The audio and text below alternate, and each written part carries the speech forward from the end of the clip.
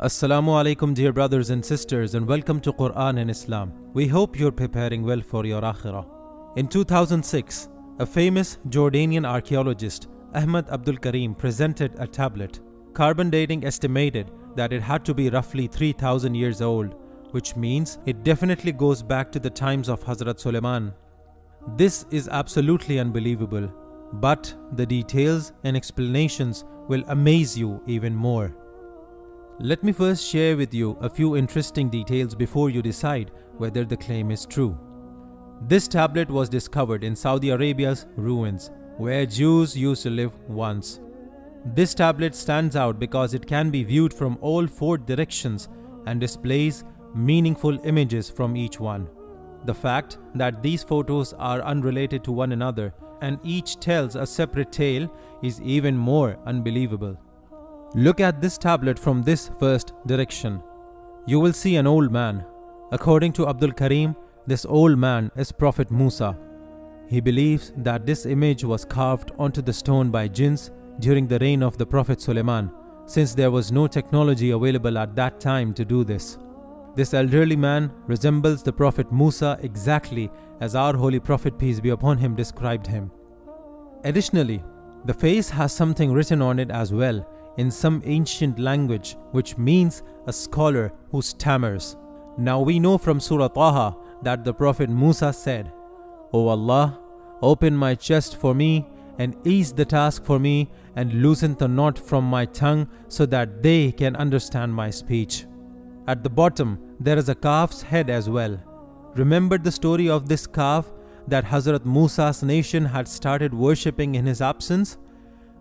All these signs confirm that this side of the tablet refers to Hazrat Musa alayhi salam. Now let's rotate this tablet at 180 degrees. This new direction displays four images. Can you spot this half head of a person? This is the right half with one eye, nose, mouth, and beard. Abdul Karim claims it to be the image of Dajjal. According to our Islamic knowledge, Dajjal is supposed to arrive before the end of the world. Our Holy Prophet, peace be upon him, has made clear the physical attributes that he will have one eye, bush like hair, and thick neck. Similar characteristics are shown in this image.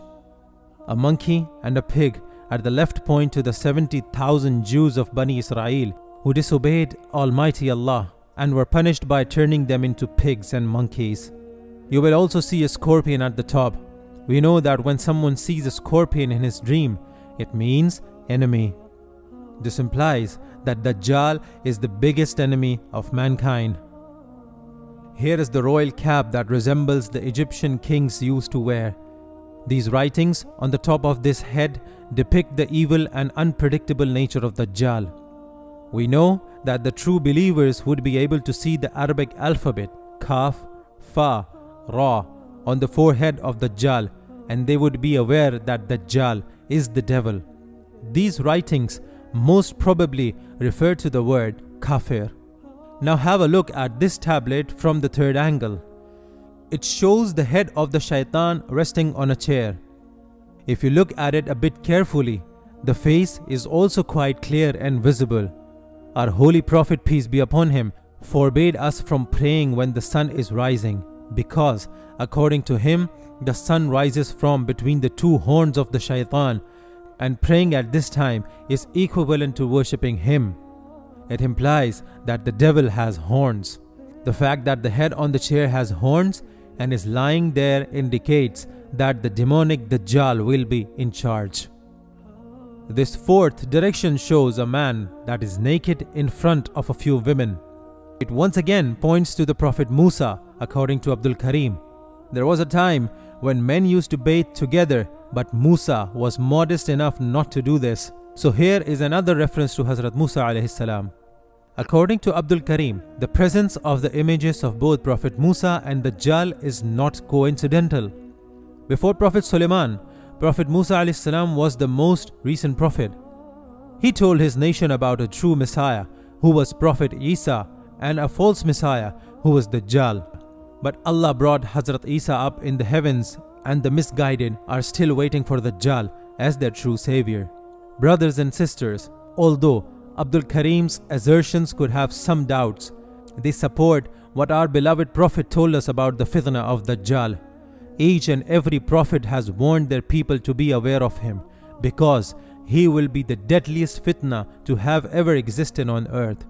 We ask Allah to keep us all safe from this fitna. Ameen. Brothers and sisters, isn't this mind blowing?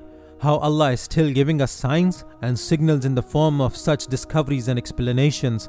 This ancient tablet that science has proved to be 3000 years old is absolutely amazing. Share with us your thoughts in the comment section. Don't forget to subscribe to the channel and hit the bell icon so that you don't miss an update. Till next time, Assalamu alaikum wa rahmatullahi wa barakatuhu.